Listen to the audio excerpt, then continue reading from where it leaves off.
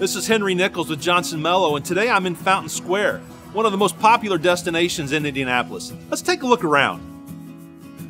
Between the restoration of old and the construction of new homes, plus unique restaurants and bars, there is a lot to be excited about here.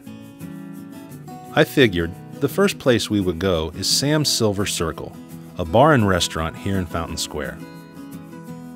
This is Sam's Silver Circle, built in Fountain Square in 1884. Served their first beer in the 40s. The Silver Circle is known for its one of a kind personality, Thursday night trivia challenges, and its incredible pizza.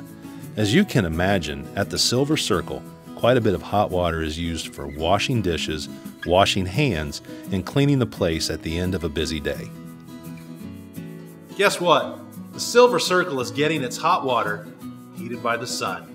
This establishment is taking advantage of the sun's energy for their hot water supply, and the Johnson Melloh Sun Bandit makes it possible. It just makes sense. Fountain Square is such a cool place. It figures that our Sun Bandit would be a great fit here for businesses and homeowners. And while we're at it, let's visit a home in the neighborhood that uses the energy of the sun for hot water. I'm here on Olive Street in Fountain Square. You may recognize the renovated home behind me from television. Let's go inside and have a look around.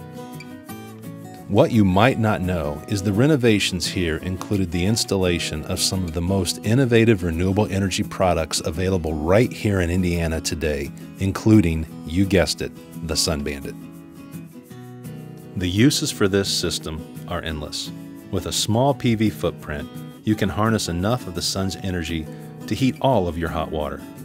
And the best news is, it's off grid for schools, churches, for businesses that use hot water restaurants, laundromats, medical offices, and your home, and so much more. So, as you can see, Sun Bandit is being used throughout the U.S. and right here in Indianapolis, and Johnson Melloh is proud to offer it to you. Until I see you next time, this is Henry Nichols with Johnson Melloh.